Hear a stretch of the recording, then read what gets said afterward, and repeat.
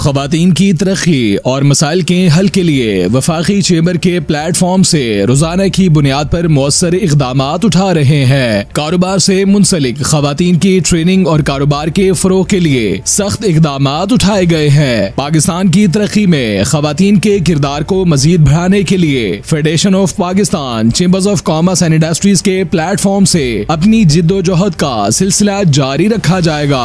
Federation of Pakistan chambers of commerce and industries की नायब सदर रिफत मलिक का बहावलपुर वीमेन चेंबर के जेर एहतमाम संगे मील south Punjab premium award show से खिताब। Federation of Pakistan chambers of commerce and industries की नायब सदर रिफत मलिक ने बहावलपुर वीमेन चेंबर की खसूसी दावत पर बहावलपुर में होने वाले अवार्ड शो में बतौर मेहमान खसूसी शिरकत की। तकरीब में पहुँचने पर नायब सदर वफाकी चेंबर रिफत मलिक का शानदार इस्तेबाल किया गया, जबकि इस मौके पर नायब सदर वफाकी चेंबर रिफत मलिक की पाकिस्तान भर की खातन के लिए तवील और गरा कदर खिदमात पर इन्हें ज़बरदस्त अंदाज में खराज तहसीन पेश किया गया। तकरीब के मौके पर नायब सदर F P C C I Rifat Malik की जानब से नुमाया कारकर्दगी पर बिज़नेस और दीगर शोबाहाई ज़िंदगी से वाबस्ता खातन को अवार्ड और इनाम भी तकसीम किए गए। तकरीब के मौके पर नायब सदर वफाकी चैम्बर रिफत मलिक का कहना था कि वफाकी चैम्बर के प्लेटफॉर्म से पाकिस्तान की बिज़नेस कम्युनिटी चेंबर्स और एसोसिएशन समेत खातन की तरक्की के लिए सख्त इकदाम